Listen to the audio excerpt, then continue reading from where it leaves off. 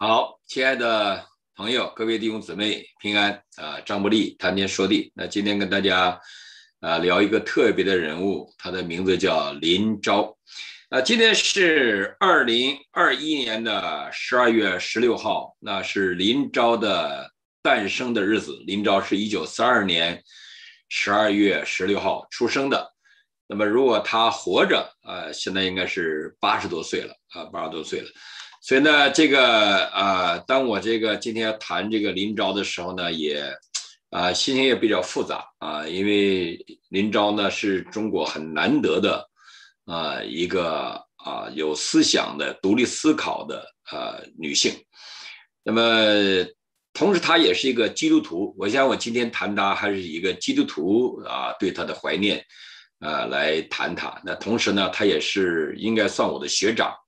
他是北京大学五五年进北京大学，那么五七年他就被打成右派，呃，后来呢，我们都知道他被枪毙了啊，这个在文革的后期啊，他被枪毙，呃，被枪毙的时候，呃，政府的这个呃公安人员来到他家，朝他的母亲要啊子弹钱，五分钱的子弹。那这在中国历史上是个非常悲剧的人物啊，悲剧的人物。那中国历史上，这个反抗中共的，在毛泽东那个极左的时代啊，那个时代，像这样的草菅人命的事情很多。但是林昭呢是很特别的一个人。那林昭，我对林昭的了解呢，呃，在我在中国大陆上根本不了解啊。虽然他那时候后来被平反了啊，但说的也不多。反而我对另外一个林啊，人民大学的叫林希凌这个女右派了解多一点。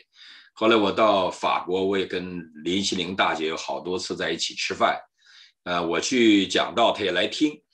啊，这个我记得有次我讲到来听很晚了，我就请她吃宵夜，然后我跟张健弟兄送她回到她的住所，非常远，非常远，坐坐地铁很远。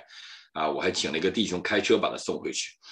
啊，当然，他也现在离开了啊。林希凌也是个基督徒，后来在法国信主。啊，这个那林昭呢，也是个基督徒，很特别。这个林昭，我现在先介绍林昭呢，原来他的他是苏州人啊，苏州人，他的爸爸姓彭，呃，所以呢，他应该叫彭令昭，他的真名叫彭令昭。呃，他出生在这个家庭很特别，他的父亲呢是一个在英国留学回来的一个留学生。后来就经过这个公务员的考试，国民党时期有公务员的考试，他考的有成绩非常优秀，所以他就做了这个这个叫什么？叫做苏州的附近的有一个县叫吴县的县长啊，县长。那时候啊，就是可能就是正县长吧。那个时候县里没现在中国大陆这么多县长，可能就一个县长啊，有的连副县长都没有。那他就是个县长。这个吴这个啊。这个彭县长呢，就性格比较孤傲，也耿直、奉公守法的一个人，那么是一个非常好的公务员。那他的母亲呢，叫徐宪民。这个徐宪民的这个母亲呢，就是一个新时代的女性，那个时候比较呃倾向于共产主义，所以他对林昭的影响也是很大的啊。那当时抗战的时候，他是个名人呢，他的母亲被称为抗战名媛儿。啊，这个社会呃抗战名人、社会名媛儿，那么林昭呢？一九四九年呢，啊，在啊，他一九四八年受洗啊，成为基督徒。那时候他还在念啊中学的时候，那后来一九四九年呢，他就考入了苏南新专啊，这个然后就参加土改，呃，那个时候啊，充满了革命的激情。后来因为他呃不太听话。也对领导提出一些的这个不同的意见，后来就被呃党纪就没有了。他入党很早，后来党纪就没有了。那么五四年呢，他就啊以江苏最高的分数考进了北京大学的新闻系。这个北京大学原来有新闻系，等我去的时候已经没有新闻系了。呃，后来文革以后呢，北大的新闻系呢也不是文革啊，文革文革之前。就是右反右之后，北大的新闻系就划给了人民大学。那人民大学新闻系，其实人大这个基本上就是属于这样一个情况啊。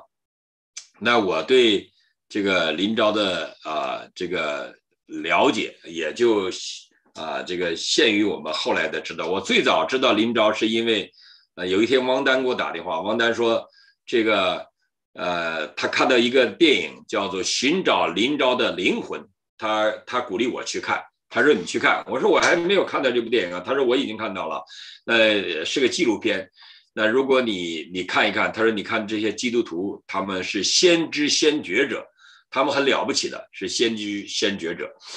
那后来我就开始了解林昭啊，我才知道林昭啊这些事情。后来林昭啊反右的时候被打成右派，那一会儿我再讲这个他为什么被打成右派。后来呢，他又被呃判刑啊，判了二十年。后来文革的时候又把他提到死刑啊。后来他这个在一九六八年啊六八年这个四月二十九号被枪杀。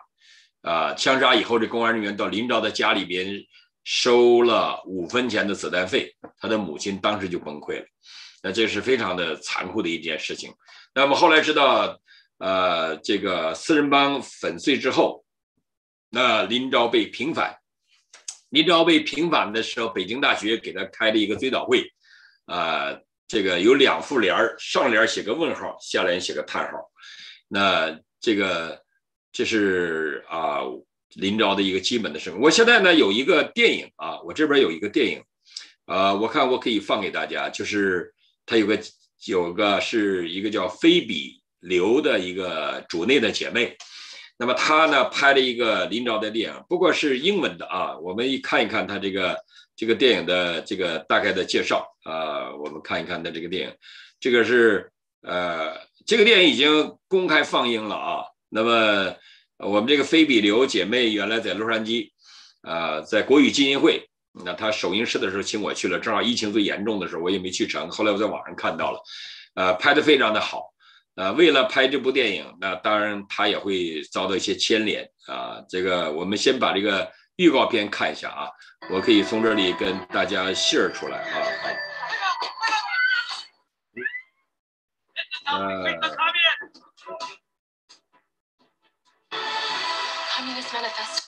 Do you want to be a true Messiah to save the people? 是林昭大学。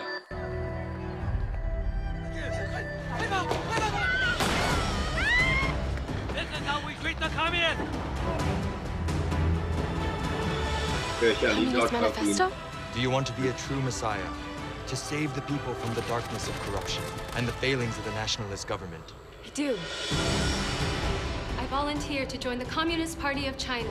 I stand ready to sacrifice everything for the party and the people. Revolution is the only way out for China. Who brainwashed you? Your communist ideology poisoned her. Speak out!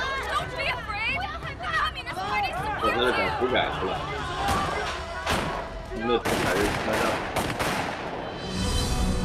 林彪林林昭就有点这个醒悟了，觉得这个整个在。 We turned the villagers against those landowners. We killed them. We fulfilled the task that party handed to us. The party was wrong. There are some who are incapable of being reformed. Tina has worked very hard for the party. Her father served in the corrupt nationalist government. Stop her. The reason we fought was to make room for different voices not replace it with one new voice. We found your reactionary home. Viciously attacked the party. I just followed my morals. What do you gain by challenging the party? My classmates have been punished. What else can I do except write poems? God has a plan for you. Bow down to Chairman Mao and confess. History will judge me as not guilty. Justice and freedom. Quarter of life，五分钱的生命。嗯，好，那这个呃呃，这个就是我我们给大家看了这个片子。如果你们感兴趣的话，你们可以到网上去看啊，网上会有的。这个片子在网上呃都可以看得到啊。那呃，所以呢，我们呃今天就谈一谈林昭啊，林昭的生命。那么《纽约时报》呢？呃，前一段登了一篇文章，是呃，它的中文版啊，他当时采访了一个杜克大学的教授，叫连希。那连希博士呢，写了一本新书，叫《血书》，毛泽东时代中国的殉道者林昭鲜为人知的故事。那这本书被被评为关于林昭的最权威的一本书。那当然，我们也知道，这个林希教授呢，也是一个神学家，他也是一个基督徒，他也是一个大学的教授。那他在写这本书的时候，他进入到中国，做了非常详细的访问，那文笔也非常好啊。当然，这个这个书他寄给了我，呃，这个寄给了我，我看完我女儿再看，就留在了华盛顿 D.C。否则今天我就给大家秀一下了啊。这本书是大家可以上网去买，有中文版，在台湾翻译的中文版。叫做《血书》，啊，翻译成中文就是《血书》。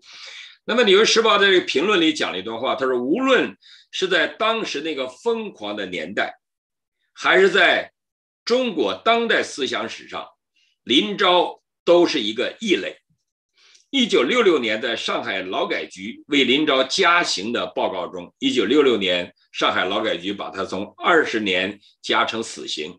就在这个报告中是这样写的。关押期间，林昭用发夹、竹竹签等物，成百上千次的戳破皮肉，用污血书写了几十万内容极为反动、极为恶毒的信件、笔记和日记，公开污蔑社会主义社会主义制度是抢光每一个人作为人的全部一切的。恐怖制度，呃，是血腥的集权制度。他把自己说成是反对暴政的自由战士和青年反抗者，对无产阶级专政和各项政治运动进行了系统的极其恶毒的污蔑。啊，这是这个在他的这个家刑的报告中写的啊。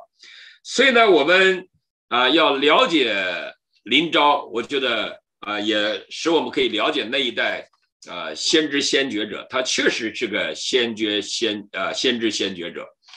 那么，呃，林昭是五四年考进北京大学，因为在这之前他是参加革命很早的啊小革命啊，呃，他是呃他原来受洗成为基督徒，在高中的时候，那后来他就因为受他母亲的影响，他的母亲思想很很激进的。呃，对共产主义非常的感兴趣的这位母亲，她的父亲就是一个遵规守矩的一个旧式的官僚，一个知识分子，啊，一个非常的廉洁的一个官员。那么林昭呢，呃，受洗以后，呃，然后他就受到这个，呃，他的一个其实是一个宗教的干部啊，后来成为宗教局的局长。这个人呢是个地下党员，那就给他啊。传传了这个共产主义的这种信念，所以他就啊，年轻人吧，一一听到共产主义革命，那就热血沸腾啊，所以呢就参加了革命。他参加革命很早，入党也很早。刚才你看那视频是宣誓入党的。那后来呢，结果他入党以后呢，就派到土改工作队去做土改，结果他呃没有听命令，就被开除党籍了。呃，还不完全是开除党籍，就是说。啊，因为不服从组织要求他从苏州撤退的命令，失去了党籍，是开除了还是留党察看？不知道，反正他那时候就啊失去了。但是他还是希望入党，所以在啊后来他又参加了苏南地区的土改，因为他是苏州人啊，苏州人就参加了苏南地区的土改，然后非常的努力的希望重新入党，希望重新入党。那可是呢，他在土改的时候，他发现了这些土改工作队员那些啊党的干部的腐败啊，有一个党的他的一个队长啊，他的队长啊，利用这个自己的这个职务之便，就啊把一个女孩子就给那个了，那然后就把那女孩子把自己的老婆不要了，就非得娶这个女孩子做做他的太太。那个女工作队员跟林昭也是好朋友。那他就看到原来这个人说一套是做一套的啊，这个人呢这个品质不太好，所以他就对他提意见，结果那个人呢就对他怀恨在心，那就把他这个从这个啊土尔工作队给他开除了，开除了，所以他一直是反叛的，所以他一直思考的，他如果不思考，他就不能反叛，他不反叛，他也不会思考，所以呢后来他就五四年。啊，以江苏省第一名的成绩考进了北京大学中文系，啊啊，那个是新闻专业，我们还是一个系的，是中文系的新闻专业，所以我看到一些照片啊，也是蛮有意思的，是这个新闻系的，呃呃，这个这个啊，我的一些老师啊，也参加了对林昭的这个这个呃，我看啊，这有些照片。我一我我这个一会儿给大家秀一下秀一下照片啊，呃或者，那么呃我看到林昭的画那个雕塑在落成的时候，钱理群教授，还有这个林昭的原来的男朋友啊，这个都参加了啊，当然还有我的一个老朋友叫老鬼的啊，那个照片上都有，看着呃蛮感慨的啊，蛮感感感慨的。那么在北京大学，但是到北京大学不管在什么时候，你他的思想都是很活跃的。即使在共产党的时期啊，在这个极左的时候，思想也是活跃的。所以林昭到了北京大学，那就好像就是到了一个民主的摇篮啊。然后他就觉得他一下投进了慈母的怀抱，然后他就想希望成为啊新中国的第一代的记者，那而且是能够有成就的记者。所以他就准备写什么啊，很多的电影啊，什么这个呃，包括中国土改史啊，那这些他所经历的，他都想写。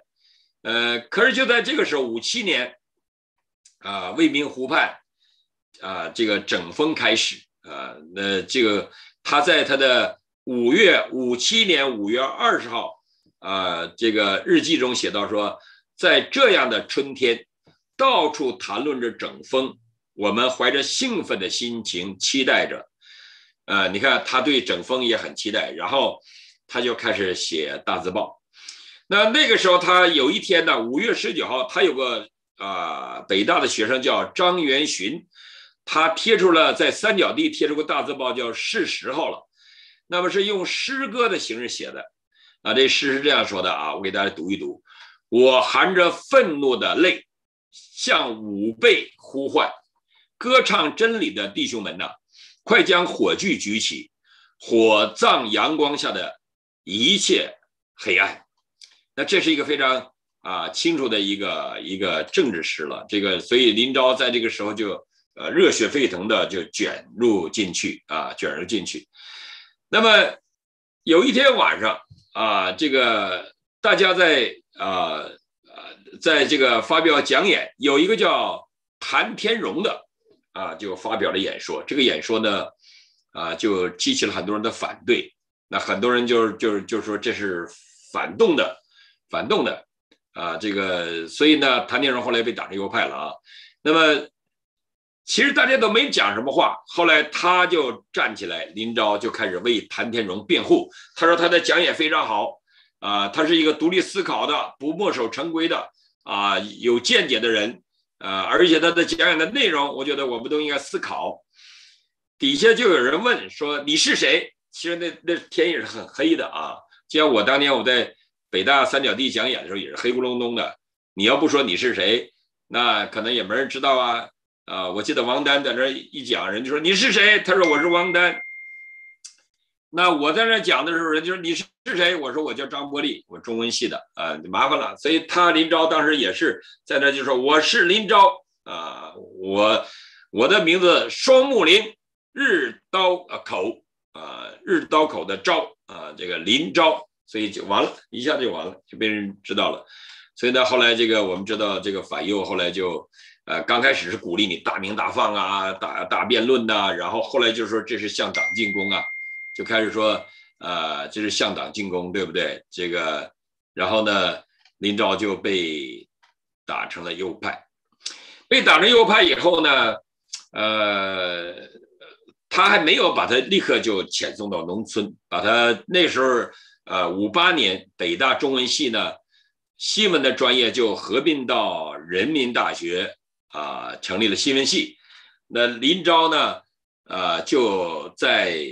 啊，新闻系的资料室里边监督劳动改造，当然也扫扫扫院子，也扫地，啊，扫地。那这个时候呢，他主要的工作就是编写中共报刊史，还有呢，就查阅过去这些旧报纸的工作。没有想到他这个领导人呢是谁呢？这领导人这个是个女的，呃，这个是刘少奇的前妻，啊，叫王乾。那还有一个另外一个人民大学的学生也是党上右派的，叫甘翠，啊，就是甘甜的甘，纯粹的粹，甘翠。这个这两个人呢都对林昭很好，呃，尤其王乾对林昭很同情。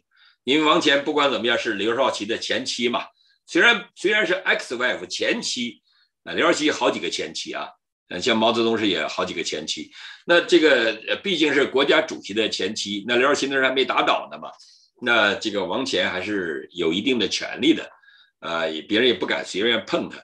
那么王乾呢就很同情林昭，啊，就对他很好。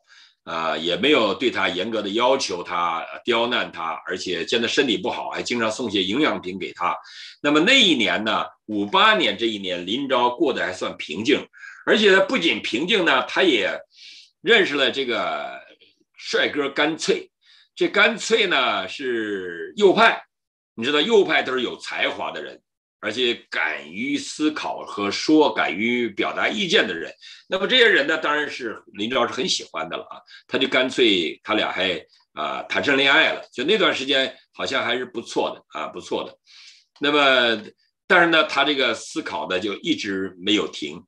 那因为那个时候五八年中国就开始折腾了，人有多大胆呐，地有多高产呐，就一年等于二十年呐，超英赶美啊，又又是反正就是瞎指挥啊。这共振风他又开始提意见了啊，他他意见。另外发生了这个彭德怀的庐山会议的事件，所以呢，彭德怀被撤职，他就开始为彭德怀鸣不平，鸣不平。那这时候的呃。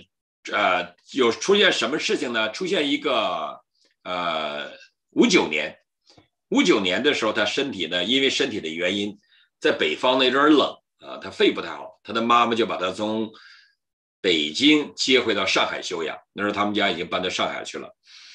那么在这个时候，他在上海养病的时候，他认识了几个兰州大学的学生，一个叫做顾燕啊，这个一个叫张春元。那张春元，我在这个呃寻找林昭的灵魂那里边看到对他的访问。那当然，这些人的后来都都已经老了。那那个他们都是一些热血沸腾的年轻的大学生。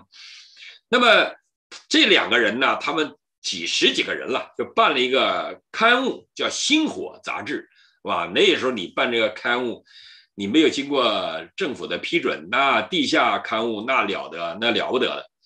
你像我在中国北京的时候，我办了一个叫《新闻导报》，啊，这个就那了不得，那那那那那已经是被定为这个呃反革命的报纸，呃是没有经过政府批准的，这不可以的。所以这个当然他们都是油印的啊。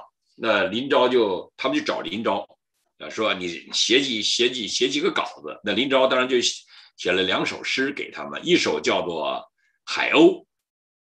啊，海鸥，那海鸥当然他也啊，他就那时候他的当写海鸥的时候，他已经又他的思想转变，又从共产主义的追求转回到基督教。那他写海鸥的时候，他写到了这个啊，这个像耶稣基督的殉难的情怀啊，然后他他就写了这个海鸥，这个海鸥写的很长的啊。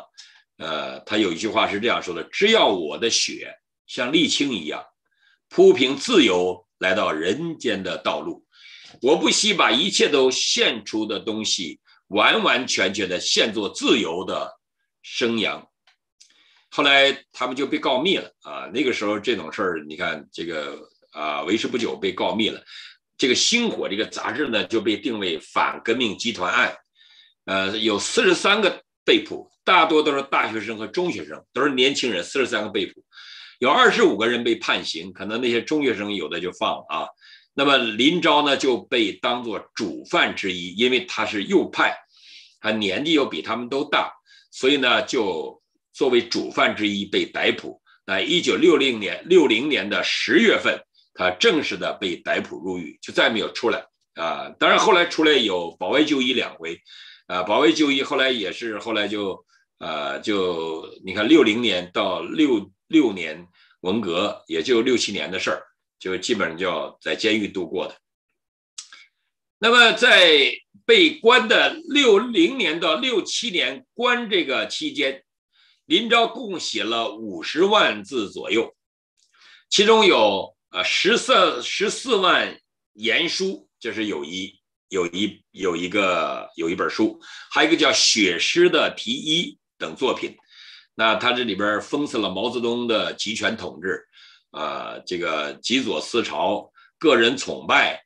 那他写的比较广，但是我们大家可能不了解啊，这个林林昭这些东西大多数都不是，呃，没有纸笔的，他都是用他的床单啊、衣服啊，所以他老让家里给他送白色的床单，家里不知道为什么老给他送白色床单，然后他就啊刺刺出血来，用血写的，因为监狱不给你这个笔和纸，啊，所以呢，他就啊，他他他就啊，这个，所以呢。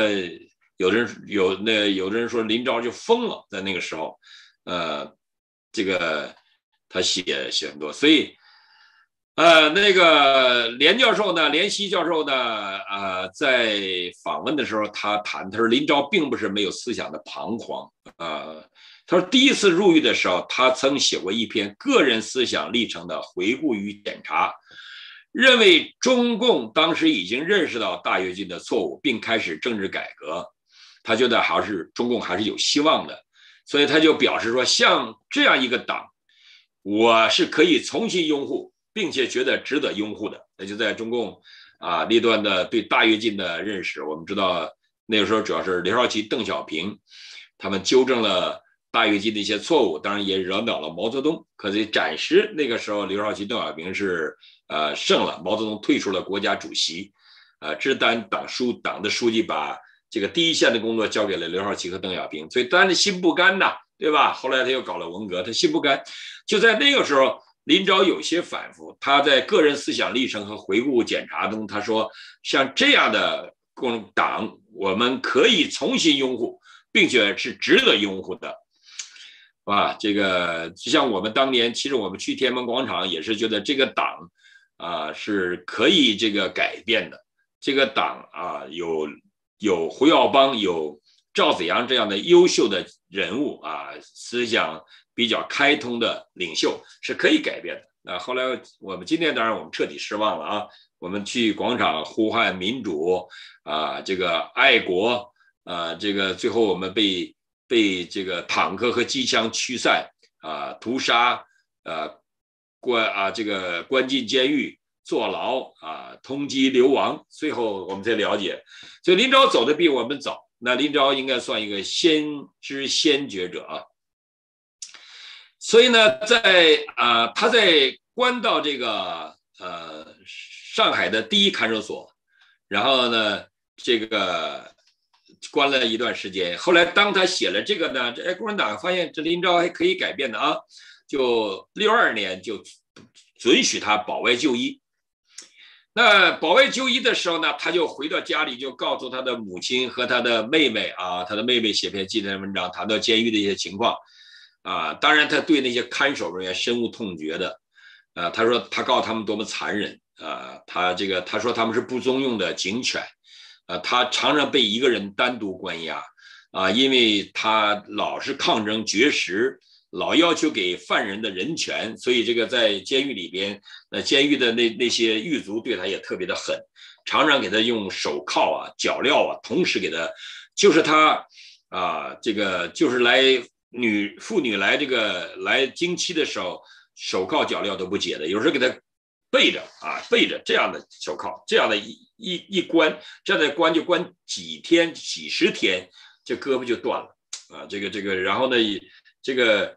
呃，那个大小便都都都不管你，因为你这没法大小便嘛，你怎么大小便都是这样的，这个叫啊秦琼卑贱呐什么的，反正什么招对一个女孩子都用了啊。面对这些对他私刑暴行的狱官，他是横眉冷对的啊。然后他他用鲜血割开他的啊这个血血管，写了一首诗，叫《献给检察官的玫瑰花》。呃，是这样说的：向你们，我的检察官阁下，恭敬地献上一朵玫瑰花，这是最有礼貌的抗议，无声无息，温和而又文雅。人血不是水，滔滔流成河。那么这个监狱的说：“哎呀，我制服不了你这个黄毛丫头，我们就不信了。”所以就是监狱一直在治他，啊，所以呢，他就一直在写，他就一直跟他们抗争，抗争。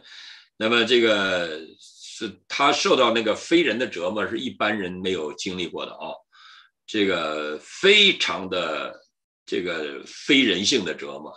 警方就在搞他的时候玩很多花样。啊，反铐啊，两副手铐的反铐啊，交叉反铐啊，然后呢，把它吊起来呀，这个呃，他这个手臂就就被吊断了都，呃，就是到就是说这个他告诉他的妹妹，就是他在妇女生理特殊的情况下，也没有为他解除镣铐，呃，所以呢，呃，一九六八年，呃，六六年。就开始啊，重新审查林昭的案子啊。那么，六六年上海劳改局写了报告，申请上上级枪毙林昭，所以呢，就说他这个成百上千的戳破皮肉，用污血书写几十万的内容极为反动、极为恶毒的信件，那大概五十万吧。我们现在知道林林昭留下的。啊，他的这个呃著作大概在监狱里的书信呢，著作有大概五十多万啊，五十多万字。那么这个，然后呢，就后来就呃，在差不多是在六八年的四月，一九六八年，林昭从有期徒刑二十年加判为死刑，而且立即执行。那么这个林彪呃林昭在接到这个判决书的时候呢，呃最后啊用血写下遗书，呃说历史将宣告我无罪，啊写了两两遍历史将宣告我无罪。那么他是怎么啊被杀的呢？这个电影演了啊，电影演也是根据他妹妹的回忆，呃这个电影这个殉五分钱的生命，呃。讲了，他是被他其实那个时候他已经是呃是病重很重了，在监狱的诊所，正医生正在给他挂吊瓶的，这个几个执行的人来了，就把他吊瓶一拽就拉走了，拉走了给他拉到了龙华飞机场，呃，当时一个龙华飞机场在龙华飞机场的第三跑道，啊，把他处决的。当然有一个这个年轻人，呃，在龙华机场工作的一个年轻人看到了，他后来跟林昭的妈妈讲了这个情况。他说，一个小吉普车飞过来，啊，停在机场的第三跑道，有几个武装人员架出一个反手被捆绑的女子，女子的口中塞着东西，什么东西呢？是一种啊，这个不让你喊的，啊，怕你说话的，怕你反着喊这个反革命口号了。然后呢，他们就向他腰后踢了一脚，他就跪倒了。这儿走过另外两个武装人员，对他开了一枪。当时他倒下后，又慢慢的强行爬起来，于是他们又向他开了两枪，总共打了三枪啊。后来看他躺在地上不再动了，这个吉普车就把他拖到另外一辆吉普车就走了啊，就走了。这个这个，当他被啊枪毙之前。这个给他有一次公审大会，我们知道那个时候要枪毙个人要有公审大会嘛。公审大会就是让我们小的时候都去看热闹啊，枪毙人呢，那个那时候没什么热闹看呢，也没电视，一枪毙人呢，全城都轰动，都去看啊。不过挺恐怖的啊，我们小时候就就看啊，然后看完了，这个这个爹妈就说千万不要犯罪啊，你看犯罪就这下场啊，就是这个是教育我们。呃，林昭那时候。呃，被拉到台上的时候，呃，很多人都看到他的呆住了，因为他的嘴上被塞着橡木塞子。那橡木塞子，你一张嘴，他就就就把你嘴撑起来，你就回不去了，所以你不能喊。然后呢，他的脖子呢这个这个是被围着的，大家说里边的脖子是被一个绳或者铁丝勒着的，就不能让你喊话，就是喉咙啊给你给你扣住啊扣住就不能说话了。这个张日新呢更残忍，张日新当时就把这个舌头给啊给给给这个给给绞掉了，呃绞掉了，呃这这个呃我们有一个牧师叫王志明，也是把舌头用刺刀绞碎了，就不准你喊，呃所以这个一个专制的社会啊，很多人我不知道为什么还这么爱这个专制的社会，我搞不懂啊，这个呃可能是既得利益者吧，也许。呃只要你有一点人性啊，你都会了解，都会了解不应该。啊，这样的来，啊，来这个支持这样一个没有人道的、没有人性的一个政府啊，一个政府。那林昭呢，这个，呃，他当年呢，他讲了一个故事啊，讲的蛮有意思的。林昭就说啊，说这个，呃，呃，美国的有个总统啊，林肯吧，林肯总统，有一天他去竞选。他穿着一个非常啊干净的西装啊，他就因为林肯就林肯很穷啊，但是林肯就是呃皮鞋是很亮的，但是里边的袜子都露脚的，对吧？林肯很穷，他驾着马车回家，他这个竞选完了，他然后他看到一个猪掉到了这个啊泥坑里边，拼命的挣扎，眼看就要啊这个淹死了，这个猪就嗷嗷的叫。林肯本来想救的，可是呢，林肯一看自己穿着很整齐的唯一的一套衣服，他就有点迟疑，因为他第二天还要竞选嘛，他就驾车就走了，走了很远了，耳边还在听着那头猪在呼叫。终于，他吊车回头，找到那个泥坑，费了九牛二虎之力，把自己弄得全身都是泥，终于把那头猪救了上来。后来有的人对他评价，有的说哇，你很勇敢呐，你你不错，你这样做。有的说你这样不值嘛，一个就为了救一个猪，你的衣服搞成这样子。林肯说：“我不是为那头猪，我是为我自己的良心。”亚伯拉罕·林肯这一段短短的话，成为林昭信守的良知。他不是为了什么，他是为了他的良心。啊，良心是上帝造的啊，上帝给我们啊，按照神的形象造的，我使我们能够分辨善恶，我们也能够懂得什么是公义啊，什么是慈爱。那良心当然，当人犯罪，这个良心受了污染啊，受了污染，所以当一个人信主以后，圣灵啊进入我们生命中来掌管我们的良知啊，在圣灵引导下的良心啊，这非常重要。所以啊，这个。呃，林昭啊，这个讲到林肯啊这一句话啊，成为他的一个信念，不是为了别的，是为了我们的良心。那今天我们也是，当我们纪念林昭的时候，我们也想到我们的良心呢。今天我们有没有良心？我们的良心还有上帝给我们的良知吗？啊，我们这里边有没有公义呢？我们对那些苦难的人，我们有没有为他们做些什么呢？啊，最近我想到另外一个像林昭一样的人，啊，一个基督徒叫张展，还关在监狱里边。他在绝食，他的个性很像林昭，啊，他也一直在绝食。我们不知道在监狱发生什么样的事情，但是好像据说他啊生命垂危了。我们现在的呼吁啊，中共释放他，释放他，在这个奥运会要冬奥会要开的时候，能够释放张展，能够给。啊，给全世界这些关心张展的人，或者那些有良知的啊人看到说，哎，他们还没有把坏事做绝啊。在关键的时候，一个弱女子，呃，张展就是采访了武汉的啊，当时病毒发作的情况，做了一些自己的报道，就像我这样的在网上说说说，嗯，他就完了。那我现在我要说这些东西，我在中国说，那马上门就开了，警察就来了，对吧？但是感谢主，我们在美国嘛。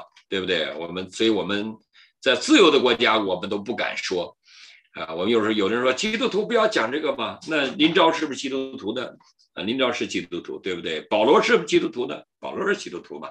那彼得是不是基督徒呢？彼得彼得更是嘛？耶稣的门徒嘛？彼得说顺服你们不顺服神，你们自己酌量嘛。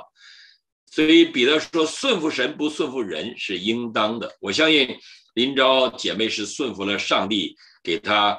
对啊，中国的看见啊，他啊提前几十年提出来了对共产党专制的反对，呃。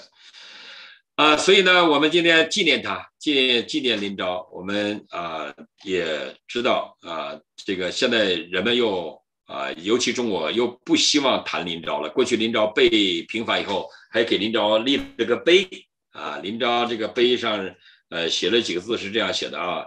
呃，林昭的碑，我给大家看一下林昭，呃，看一下照片吧。我现在发的不太方便，看看照片，这是林昭啊。我把这个关掉。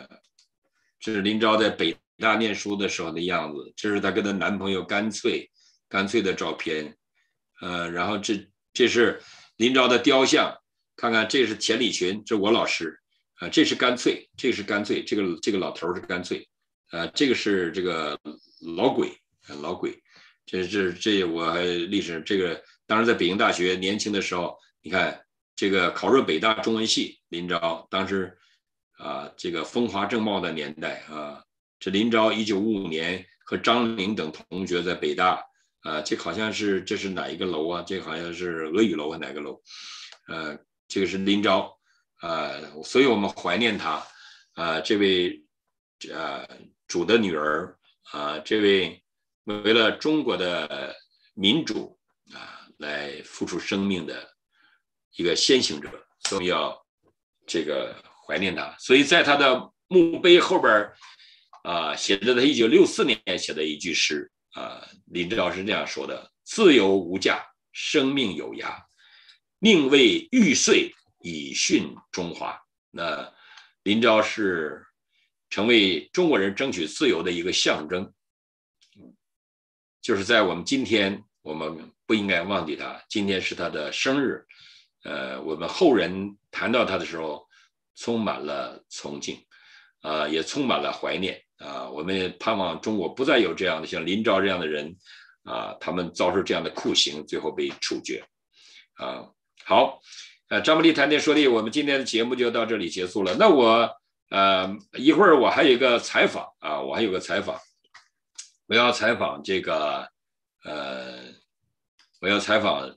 这这个傅西秋牧师，那傅西秋牧师他们这个对华援助协会呢，今年设了一个奖，叫林昭良知奖啊，林昭良知奖。